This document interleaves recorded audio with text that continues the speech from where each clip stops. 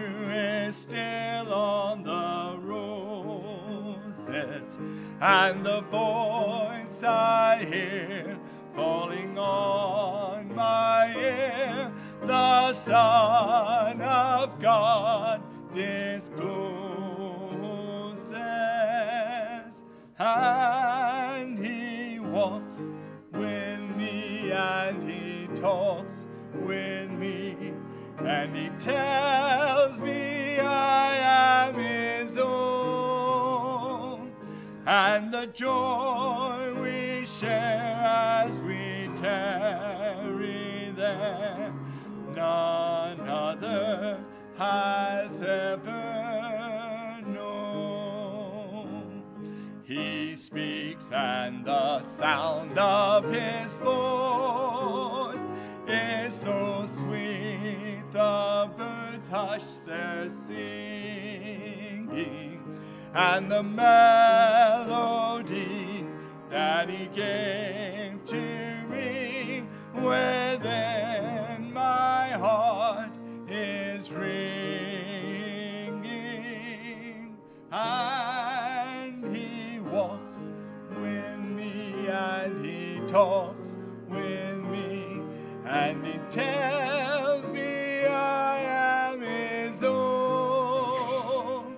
and the joy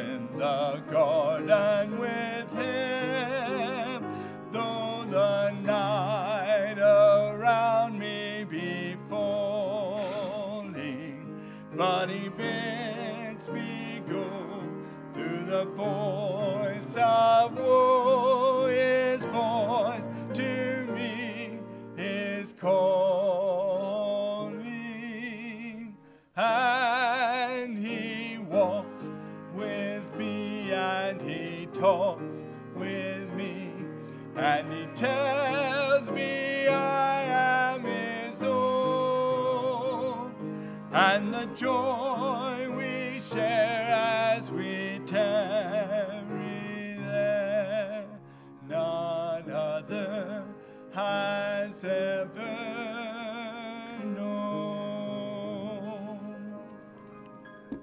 All right, we have a brother Sammy's going to come and, and sing for us today.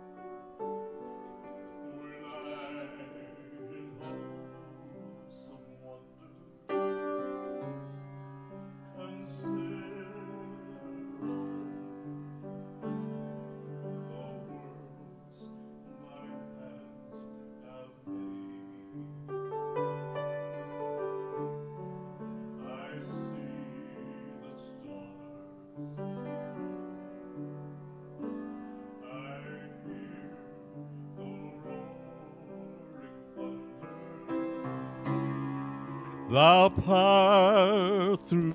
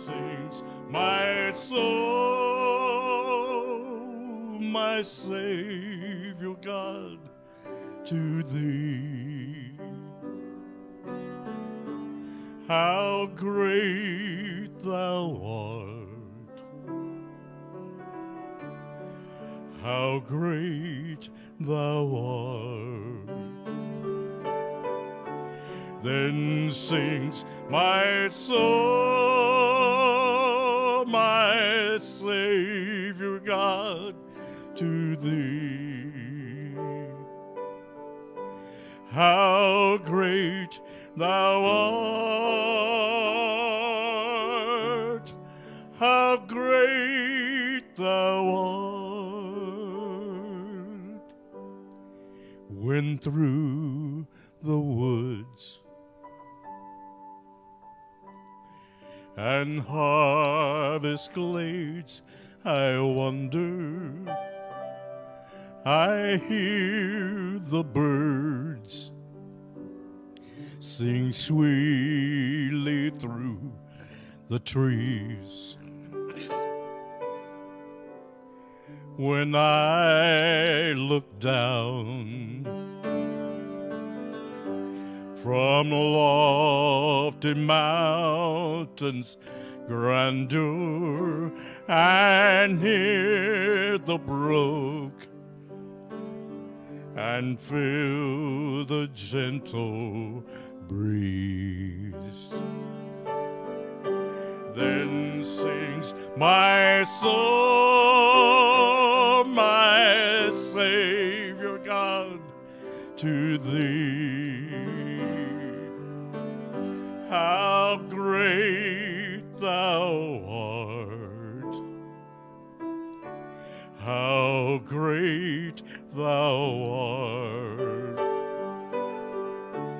Then sings my soul, my Savior God, to thee. How great thou art!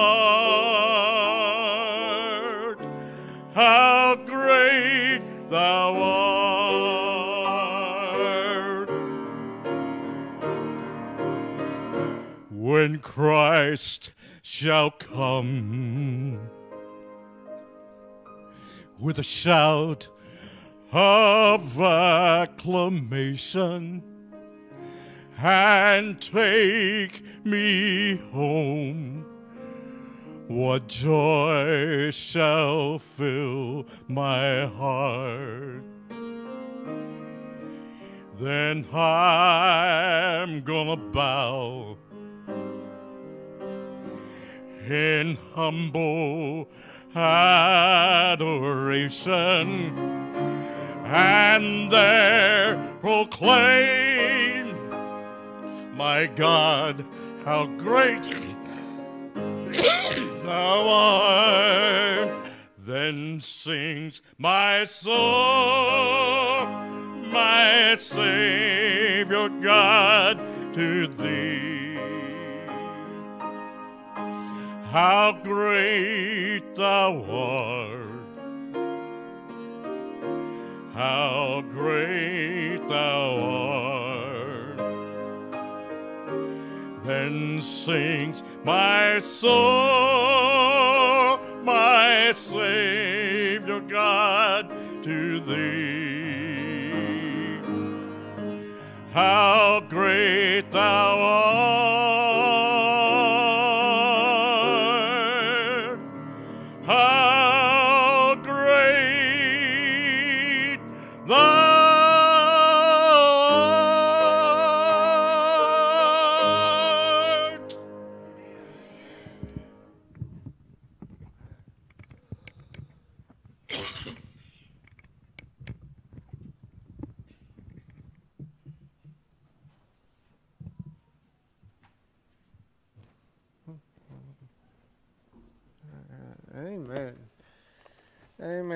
We serve a great Lord?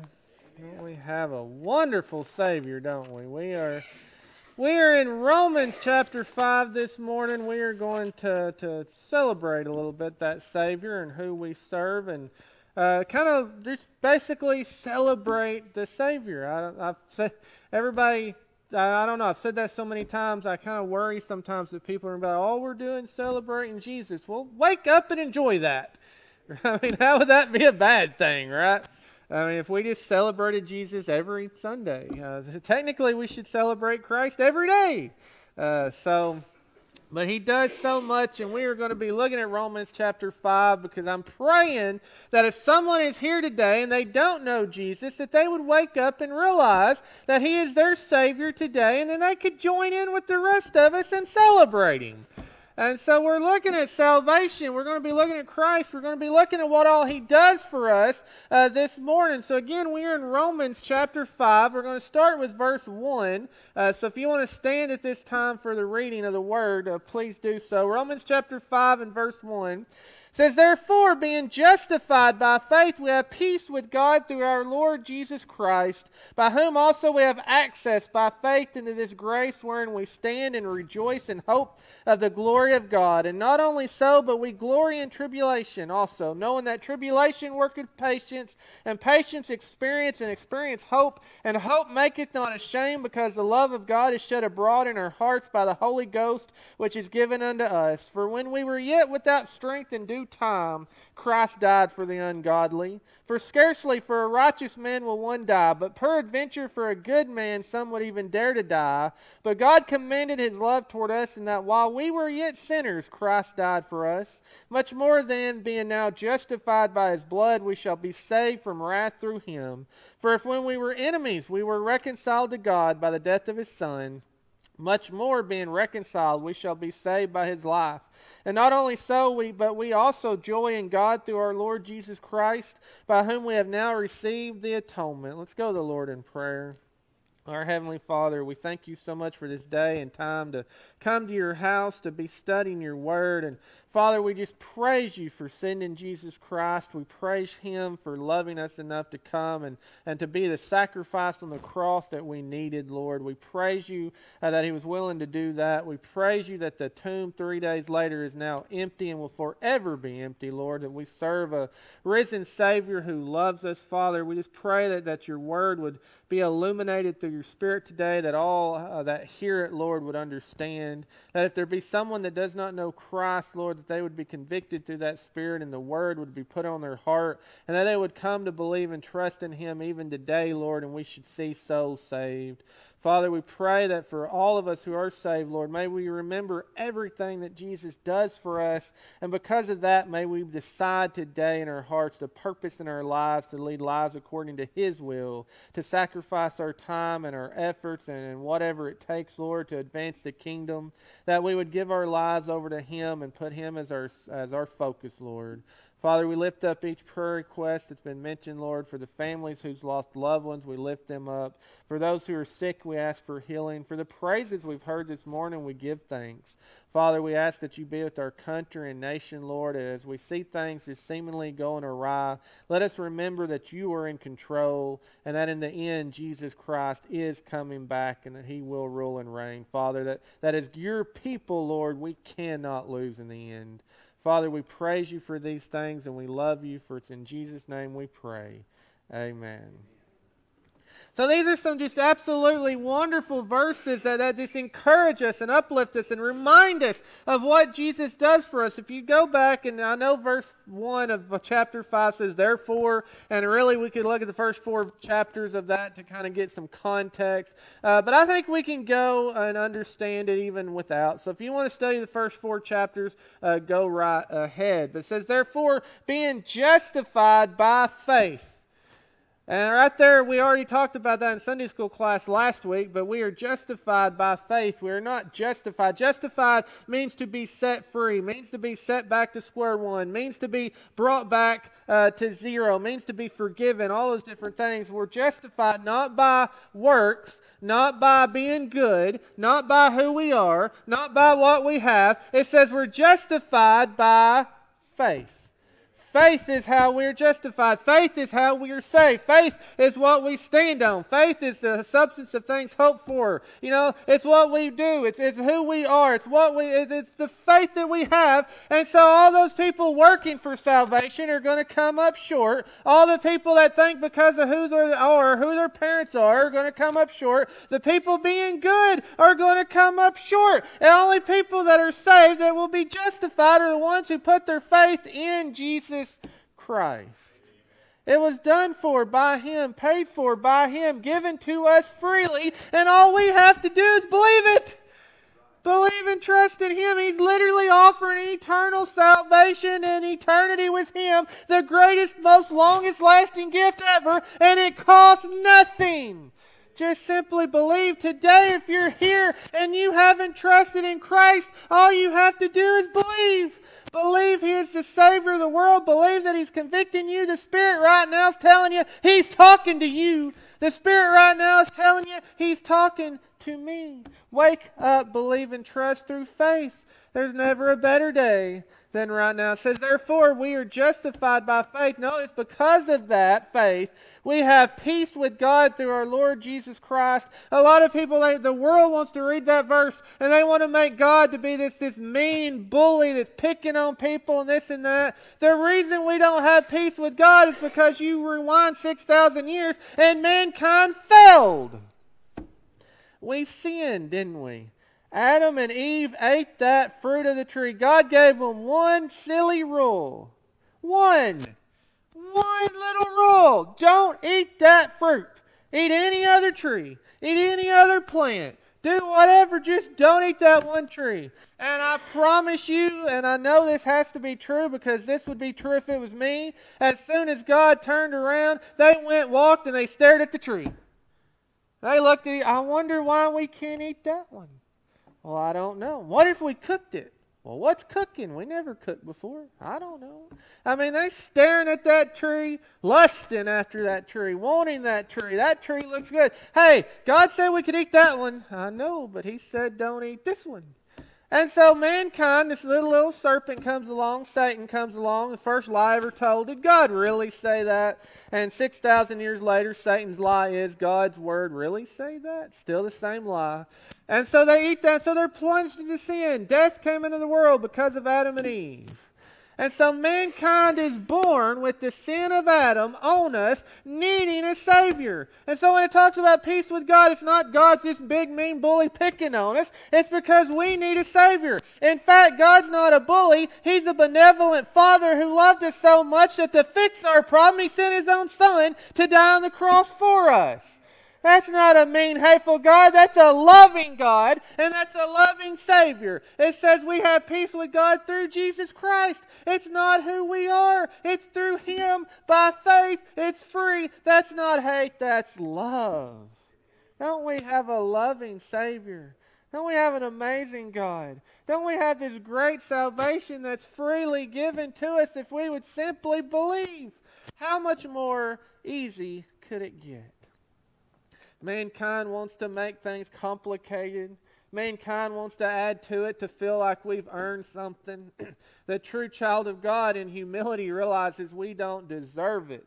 We cannot earn it. the truth is, every one of us has died deserving to burn in hell. We have a loving Savior that said, wait a minute, not on my watch. You don't have to endure that. You don't have to go there. I will die for you. If you'll simply trust me, you'll be saved for eternity. I mean, it's pure love in that verse. Is therefore being justified by faith. We have peace with God through our Lord Jesus Christ. Notice he says we because the author Paul is including himself. Paul was saved in the same way we're saved. Everyone for eternity has been saved in the same way by either believing that the Savior's coming or believing the Savior's came. The salvation of the world is in Jesus Christ. And Paul says we have that. Now look at verse 2 it says, By whom also we have access, again, by faith into this grace wherein we stand and rejoice in hope of the glory of God. What is Ephesians 2 8 9? By grace through faith. We see this mentioned here again in verse 2. We have access by faith into this grace, the grace of God. The grace of God that says, even though mankind deserves to be destroyed, I'm going to send my son to die for them. Even though mankind deserves to be punished, I'm going to have grace and mercy, and I'm going to send salvation, and I'm going to save a bunch of people that didn't deserve it because I'm a loving God. We have access by our faith into that grace, and notice because of that grace, where it says, wherein we stand and rejoice in hope of the glory of God. A child of God that's been saved by God should rejoice every single second of their life. I will never again be destined to burn in hell. I will never again be destined to suffer in hell. I'm going to be saved and I'm going to be secure because Jesus Christ gave me that salvation. We stand in that grace because of our faith. If that don't give us a reason to rejoice, you need to wake up and get saved. That's just all. If you can't rejoice in salvation, I'm willing to say you probably don't have salvation. Because the child of God that's saved, we're standing and rejoicing in that hope. That hope that I know and I'm assured that Jesus Christ is my Savior. I'm assured of an eternal home. I'm assured that He's coming back, and nobody, no government, no Satan, not even 87,000 new government officials are going to take that salvation from me no matter what, because my Savior's bigger and better than all of them. That is a blessed assurance, isn't it? That is a blessed hope. That hope of glory in God. This world's going to weigh us down. This world's going to make us suffer. This world's going to be depressing and heartache. It's going to try to weary and wear out the saints of God. But the saints of God has something this world don't have, and that's the Holy Spirit, and that's the assurance that Jesus is coming back. So because of that, on our worst day, we can still rejoice in that hope. I just breaks my heart to imagine lost people without Christ. How do you endure the world? How do you face tomorrow? It's no wonder people are depressed. How, how could you face tomorrow with it? I don't understand it. I've tried. It baffles me. Child of God, we are blessed. And let's share that blessing with the world. How are we going to share that with the world? By telling other people Jesus died for everyone. Every man, woman, child, all race, creeds, and nationalities. Jesus Christ died for them all, and their salvation is in Him if they would believe. We've got to get about telling people that. He says, By whom we have access by faith in this grace wherein we stand and rejoice in hope of the glory of God. And not only so, but we glory in tribulation. Did I lose anybody? That's usually where we lose people, right there. You know, you can build a 40,000 seat stadium church house in Houston if you tell everybody that God loves you, do whatever you want. But when you get to verses like this where it says, hey, God's great, we're standing and rejoicing in His grace and mercy and glory, and we're even going to glory in tribulation. Everybody's like, yeah, I'll go next door. And in America, we can go next door. I don't like what that preacher said. I'll go find one that I like what he says. You know how many people do that? You know how you really ought to find a church? One, let the Spirit lead, and two, find the most biblical church you can find. Let it be biblical, not convenient. If you have to drive a few extra miles, people drive an hour to go to work every day, but they won't drive 10 minutes to find a biblical church. Eternal consequences. It says, We glory in tribulation why? Because we know that tribulation worketh patience. We looked at this this morning in Hebrews a little bit. Verse 4 And patience, experience, and experience hope. We actually talked about this last week too. And hope maketh not ashamed. So are we going to grow in the Lord? Are we going to grow in our faith? Are we going to grow in our walk? You know, we all talk about faith, and you know, it's easy to have faith in Christ, but the more our faith is tested, the stronger it gets when we learn to walk by faith, when we learn to live by faith, when we learn patience, and we get that experience. And by the way, experience is a wonderful thing. So when I look around here, I don't see the aged, I see the experienced. And we're going to need that in, in classes. Come tonight, volunteer. But we got patience and experience, and experience brings hope. When you've been there, you know what's going to happen. When you face a fa- when you face tribulation and you face heartache and you face trouble, and Jesus Christ carries you to the other side, and you realize I'm only here because of Jesus, that gives us experience so that the next time we face problems, we know and believe that Jesus will carry us to the other side because we've been there before. When you study the Old Testament and you see Moses and he grows, that for when Moses first goes to Egypt and Pharaoh tells him no and the people get mad, Moses is like, Lord, what's happening? What am I doing? And as you read time and time again, God works with him. By the time you get Moses in the wilderness, the people are going crazy. And Moses is like, I got this, Lord. You know what them people's doing. Let's fix this. He grew and learned and had experience. When we face heartache, it hurts, it suffers us, but it grows us and it matures us and we need mature, grown Christians teaching young people because they ain't got it yet. We have to grow and mature. And it says, and hope maketh not ashamed. Simple question. Are you ashamed of Jesus Christ? Better not be. What's the Bible? Back up to, you know, turn to Romans, what is 116? For I'm not ashamed of the gospel of Christ. How many children of God today are willing to stand up in the face of persecution and say, I am not ashamed of the gospel of Jesus Christ? I believe that Jesus is the only Savior of the world. All other religions are fake. All other gods are fake. The Bible is true word for word, and any man made ideal or science that goes against the Bible is fake. How many Christians are willing to stand up and say, I'm not ashamed of my beliefs because my Savior died for me? I'm going to stand for Him. I'm going to proclaim him because I believe in him. How many are going to do that today? How many of us will do that today? Huh, he got my verse. For I'm not ashamed of the gospel of Christ. Why? It is the power of God unto salvation.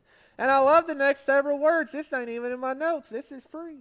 To everyone that believeth. There's a lot of people in the world try to say only the chosen are saved, or only a select people are saved, or only this group or that group is saved. I praise God that Jesus died for everyone, because if it was a chosen group, I wouldn't have made the cut. And how many of us would have? But it says the power of God unto salvation to everyone that what? Believeth. Not works, not earns, believe it. To the Jew first, also the Greek. It is the power of God. So you go back there to Romans chapter 5, and you go back to verse 5 and realize with that tribulation, with patience, with experience comes hope, and that hope makes us not ashamed. When you've walked through the fire, you come out stronger on the other side. I guarantee you, if you could go back and see Shadrach, Meshach, and Abednego, they had the faith to stand up and say, King, we don't care that you're going to put us in the fire. We're not worried about it. They were faithful. You get them in the fire, Jesus is in the fire, they come out. If you'd have talked to them then, their faith had increased.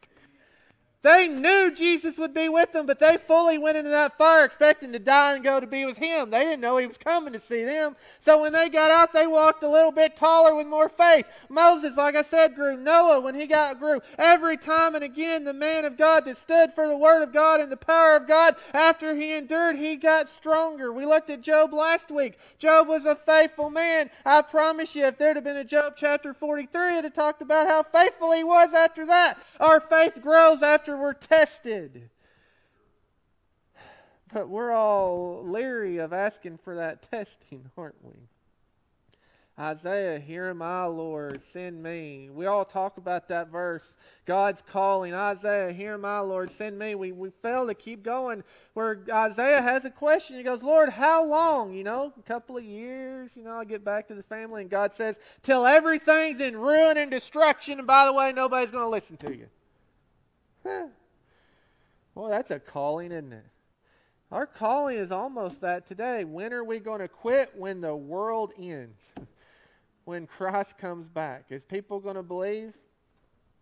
God never tells us preach and see people saved. He says preach and I'll do the rest. Our faithfulness is not based on what happens. Our faithfulness is on us being faithful.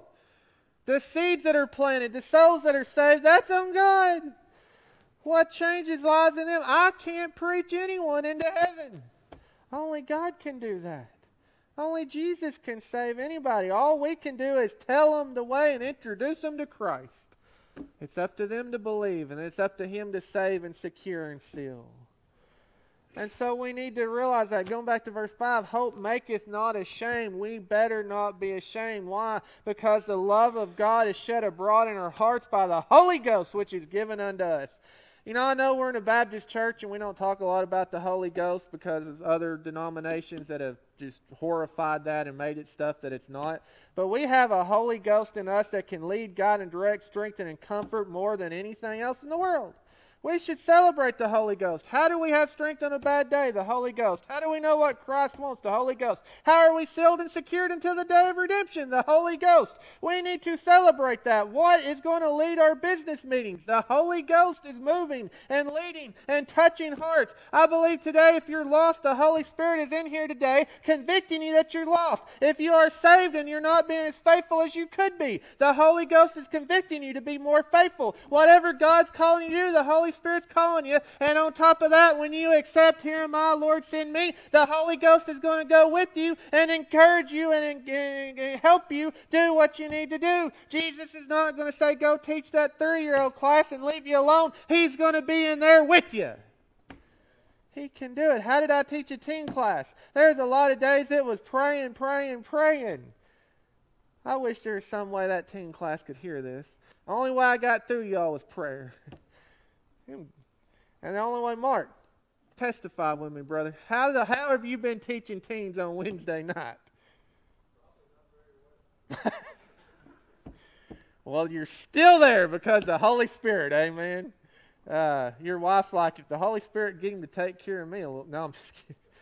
But the Holy Spirit's helped you teach a teen class. The Holy Spirit helped Stan teach the teen class in the morning. The Holy Spirit helped you teaching. The Holy Spirit is the only reason I'm standing here today because I'm not a natural speaker. I'm not a natural leader. And really, I'm kind of like an old hound dog. I'm happy curled up on the porch napping. But I'm standing here today because the Holy Spirit is empowering us to do so. And we're all here today because of the power of the Holy Spirit. It says, Hope maketh not ashamed because the love of God is shed abroad in our hearts. When we love God and we're not ashamed, the Spirit can do wonders. The reason the Spirit isn't working with you is because you're quenching the Spirit.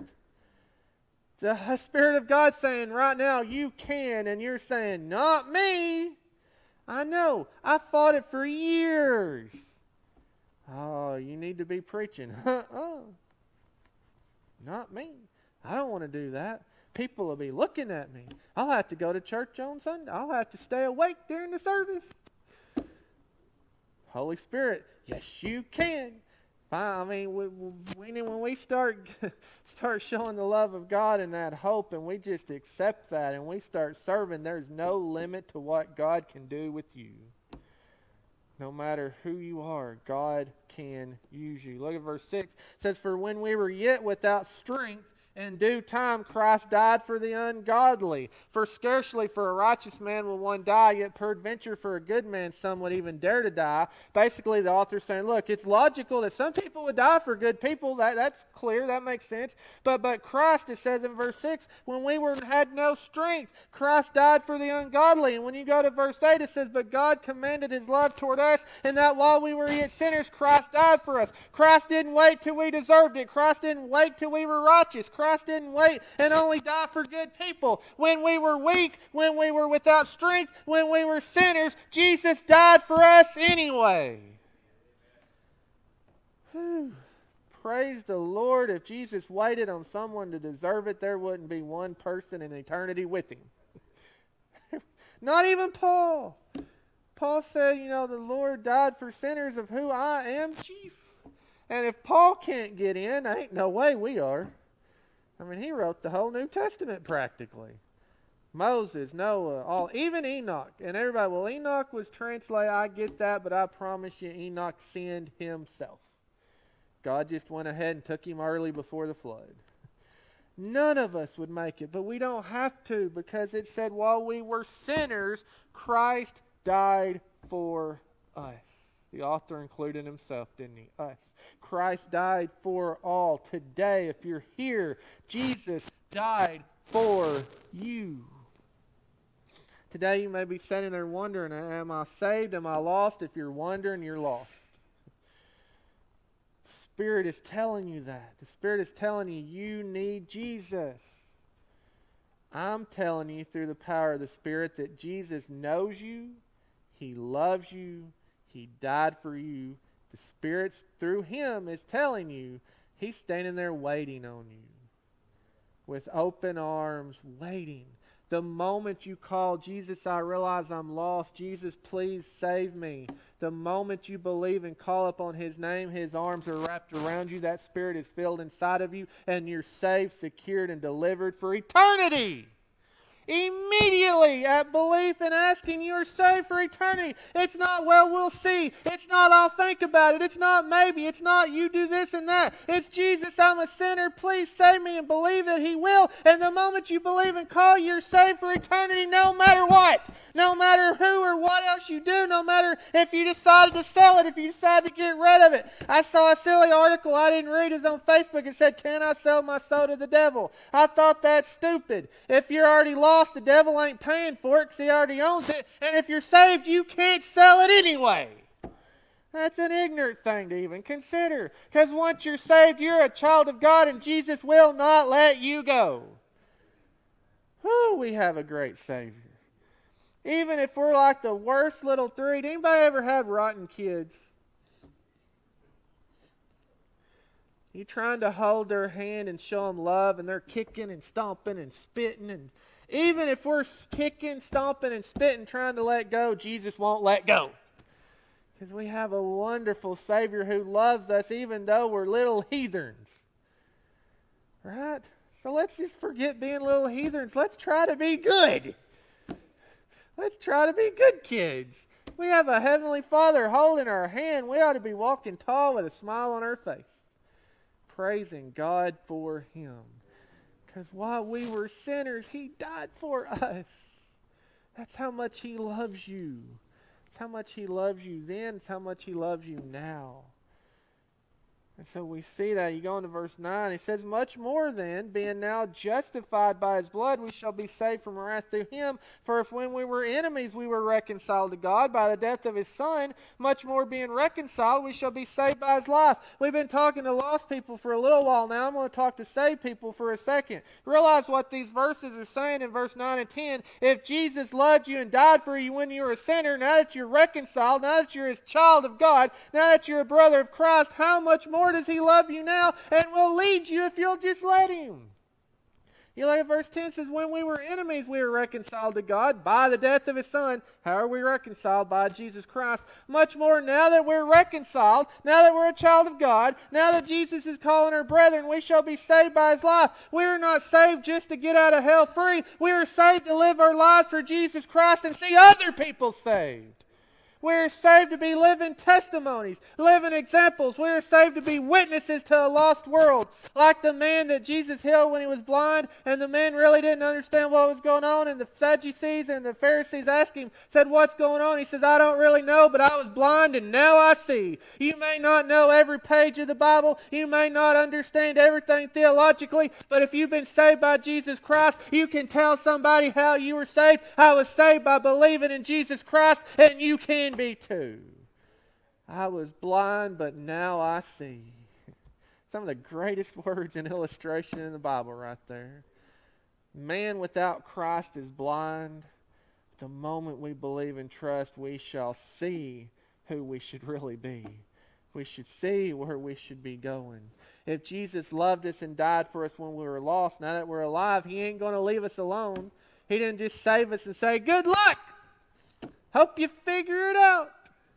He saved us to be with us every step of the way. The Spirit's inside of us leading. He gave us the Word of God, that Bible you got in your hand, so that we can know what to do and where to do it. He gave us and continues to give us everything strength and comfort, hope and love, and everything else. He saved us to live for Him. Child of God, are you living for Him?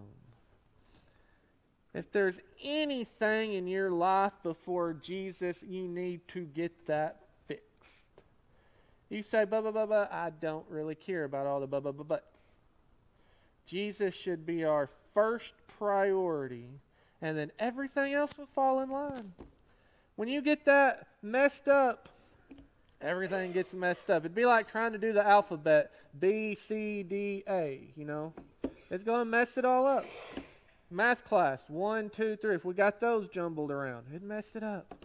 When Jesus is first, and then the rest of it falls in line. If you put family before Christ, there's going to be a problem. Jesus said, you know, the Bible says hate mother, hate father, and that's not talking about literal hate. That means we should have him first. If you put your job before Jesus, there's going to be problems. If you put anything before Jesus, there's going to be problems. But when we put Jesus first, everything else will work out. Jesus is the only way that family is going to work out. Jesus is the only way that marriage is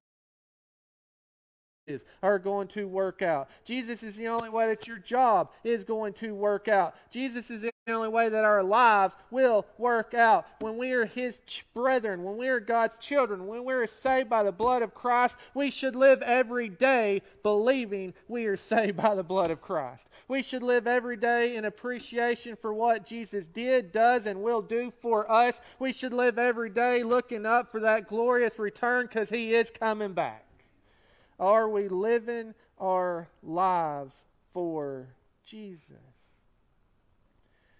And I know that, you know, the world tries to bog you down. I know that the world is designed to bog you down. Our entire institutions are designed to celebrate people that are living out of wedlock and punish those who get married. We'd be rich if we were divorced.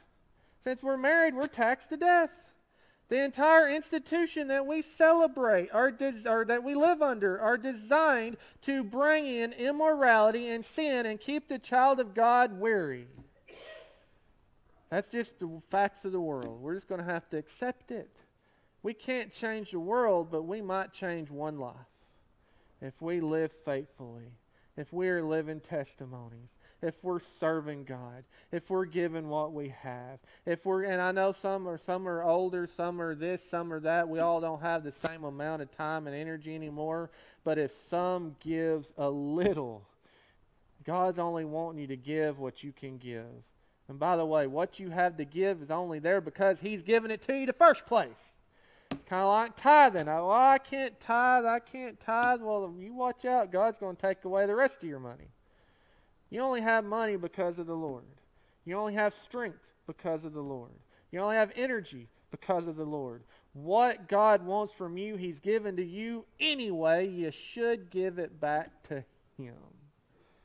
Living our lives for Him. And then we go into verse 11. It says, Not only so, not only live our lives for Him, it says, Not only so, but we also joy in God through our Lord Jesus Christ, by whom we now received the atonement. Atonement means reconciliation. So he's, he's reminding them that we are justified by the blood of Jesus Christ. We have life because of Jesus Christ. We joy in tribulation because of Jesus Christ. At this verse, he reminds that we've received the atonement, our reconciliation. Remember, going back to verse 1, we have peace with God because of Jesus Christ. And because of Jesus Christ, we can have joy. It says, We also joy in God through our Lord Jesus Christ. If you don't have joy in your life, it's because you haven't put Jesus first. The most miserable person on earth is not a lost person. They're too lost to know they're miserable. The absolute worst, most miserable person in life is a child of God that is not faithful. Because the Holy Spirit conviction is wearing you out. The Holy Spirit is telling you plain out you need Jesus. You need to be faithful. You need to be doing the right thing. And if you're fighting against that, as Jesus told Paul, it's hard for you to kick against the pricks. It'd be like trying to. Anybody ever seen a cattle prod? Anybody ever, you know, everybody knows what a cattle prod is. Nice big old rod with some batteries and electric, and you choo choo, and it zaps people. We used to sell cattle prods in Arkansas, and I tried and tried to let the guy working with me let me test it on him. He wouldn't do it.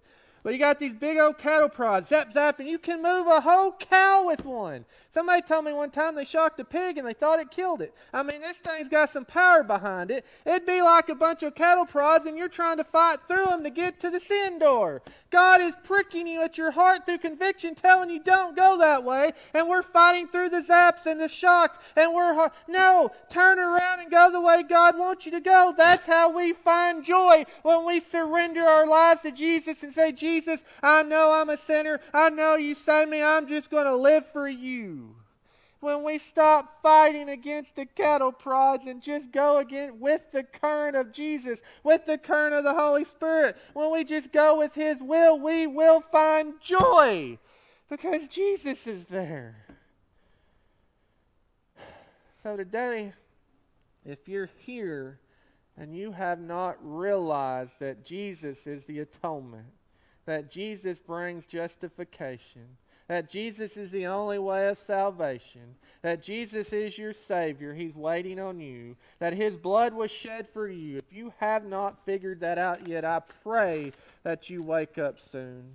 I pray that you realize the only God in the world is our God, and the only Savior of the world is His Son, Jesus Christ the only way of eternal life. There's two choices there's eternal life with Christ, or there's burning in a lake of fire, suffering and agony for eternity. Why? Not because of what you've done, but because you failed to do one thing. The only sin that sends you to hell is unbelief. Believe and trust in Jesus Christ, and no matter what else you've done today, you will be saved. I pray that you wake up. None of us know what tomorrow's bringing. None of us know what's coming next. But today, if you're here and the Spirit's convicting you, you realize you're lost, believe in Christ, and today you will be saved. And then, child of God, as the author said, much more than that, since we, since Jesus loved us before, now that we're His children of God and brethren of Christ, how much more does He love us? Do you still love Him? Jesus said, If you love me, keep my commandments. If we love Christ, we should be willing to tell others about Christ. When we have good news in our lives, whether it's a new grandbaby being born, whether it's a giant fish we caught, whether it's winning some you know race that we were driving in, whether it's getting a promotion or job, we like to tell people. Child of God, we know the Savior of the world. Let's not be ashamed. Let's tell somebody and let's live for Him, sacrificing anything that is needed to advance His kingdom. When we finally surrender, Lord, I surrender all. When we finally truly surrender all, that's when we find joy. So as the song leader comes and the musicians come today, again, if you need Jesus, it's belief and trust, and you will be saved. Child of God, there's so many opportunities here. We, we have so many needs. There's so many opportunities to serve. I don't know what your excuse is, but if you flip over, you don't have to turn there, but if you flip back to Exodus and God sets a burning bush on fire, and Moses walks up to it, and God says, Moses, I need you to work for me. And Moses has excuse after excuse after excuse. After about the fourth one, it says, The anger of the Lord was kindled. And finally, Moses shut up and did what God wanted him to do. I've been there. You're miserable fighting against what God wants you to do. But when you surrender and just accept that whatever God's will is, He's already paved the way and He's already going to supply everything I need to fulfill it, you find peace and you find joy. Whatever's on your heart, whatever your need, as we stand, whatever your need is, go to the Lord, find it today as we sing.